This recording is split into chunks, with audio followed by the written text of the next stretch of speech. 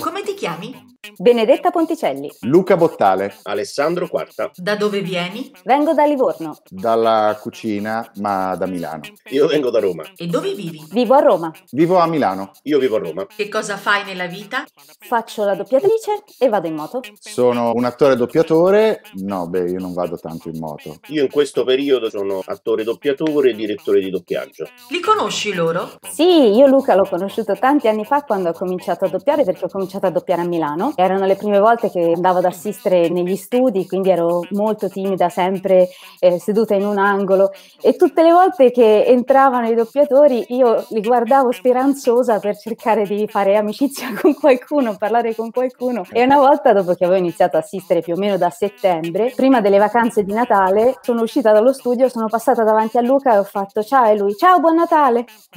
e di Alessandro mi ricordo che invece l'avevo conosciuto a Roma perché poi nel frattempo mi sono spostata a lavorare a Roma e io mi ricordo che ero seduta stavolta un po' meno timida, un po' più tranquilla e rilassata e lui stava facendo un teatrino, c'erano tutti intorno che ridevano e io mi vergognavo perché mi veniva da ridere però non volevo far, volevo far finta di non ascoltare cosa stavano dicendo. Io mi ricordo adesso quando ho conosciuto Benedetta perché me l'ha raccontato lei, praticamente sono arrivato come una specie di babbo Natale a dire, a dire ciao, ti chiedo ancora scusa. Mentre invece Alessandro, con Alessandro ci siamo conosciuti prima riunione della nostra lista, però Alessandro lo conoscevo già, non di persona. Io ho conosciuto Benedetta durante un film con Fabrizia Castagnoli, uno di quei momenti meravigliosi in cui si lavorava ancora con i colleghi, che ci si poteva conoscere, stare insieme. Invece Luca, come dicevamo, conoscevo di nome, però ci siamo conosciuti alla prima riunione del gruppo Nova. In che lista ti presenti? Lista Nova, Nuovi Orizzonti, Per la valorizzazione Degli artisti. la lista numero uno. uno. Numero uno. Perché ti presenti in questa lista? Siamo un gruppo di persone che si sono scelte con cura, con molta cura. È una lista che è nata da una rete di persone che hanno più o meno la stessa visione d'insieme, ma che vengono da ambienti e da esperienze molto diverse. E questo secondo me è la grande ricchezza di questa lista, perché in questa maniera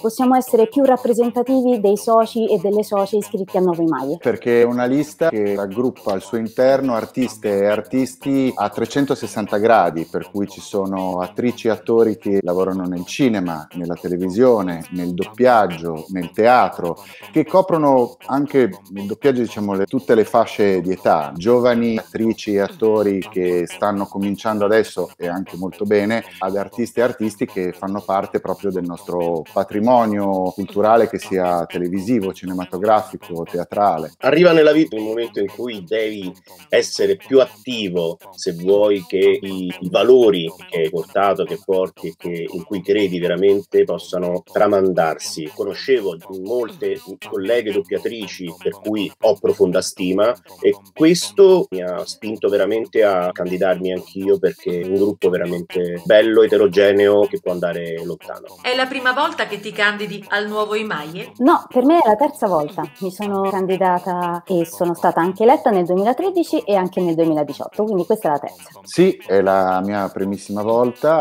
Sì, per me è la prima volta. Hai approvato tutti i punti della lista, ma qual è il punto che più ti piace? A me piace di più il punto numero 16, che dice di incentivare l'uso di un'app apposta per inserire i personaggi piati, soprattutto per quanto riguarda il doppiaggio, ma ovviamente si può estendere anche alla parte editoriale, per chiedere il rimborso dei provini, perché abbiamo visto che molti soci hanno avuto diverse difficoltà e quindi ci piacerebbe rendere tutto un po' più veloce, e anche per velocizzare le fatturazioni da fare con i nuovi Maie, perché questi sono tre problemi grossi che abbiamo riscontrato negli anni, per cui i soci ci hanno chiesto spesso una mano. E allora vorremmo provare a semplificare un po' questi punti. Io sono molto impegnato nella formazione, quindi credo molto nel numero 15, cioè l'organizzazione di corsi gratuiti di doppiaggio per doppiatrici, doppiatori già professionisti che vogliono perfezionarsi, per doppiatrici, doppiatori da poco entrati nell'ambito del doppiaggio, per attrici, attori prevalentemente cinematografici e di fiction che vogliono migliorare nel doppiare se stessi. A me piace molto il punto numero 14, praticamente per ottenere un pagamento e riconoscimento dei diritti per quando le nostre voci vengono utilizzate per esempio sui social media, su certe app, poi per quanto riguarda i documentari documentari, i reality, eh, gli audiolibri e poi anche per estendere il riconoscimento dei diritti per le protagoniste e protagonisti di puntata delle serie extra europee. Hai 5 secondi per dire perché dovremmo votarvi. Noi siamo una lista che si porta dietro molta esperienza rispetto agli anni passati, alla gestione dell'istituto. Molti di noi erano già delegati negli anni passati e questa secondo me è una cosa importante, bisogna portare avanti anche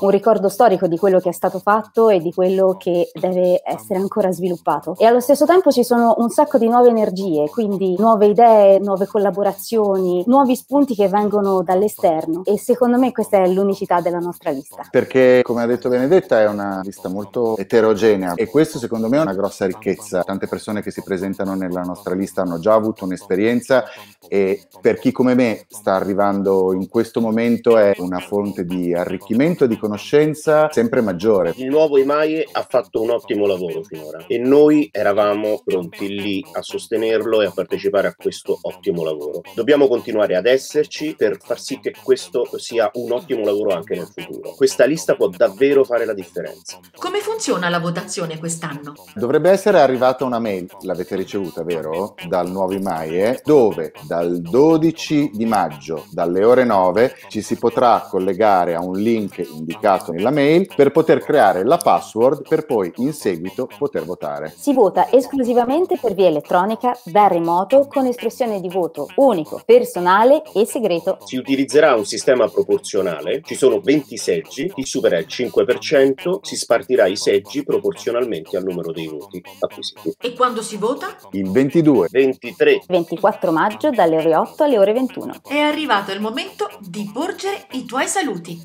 ecco i nostri migliori saluti. Lista nova, vota uno, vota uno, vota uno. Mi raccomando, è la lista numero uno non a caso. è il numero uno.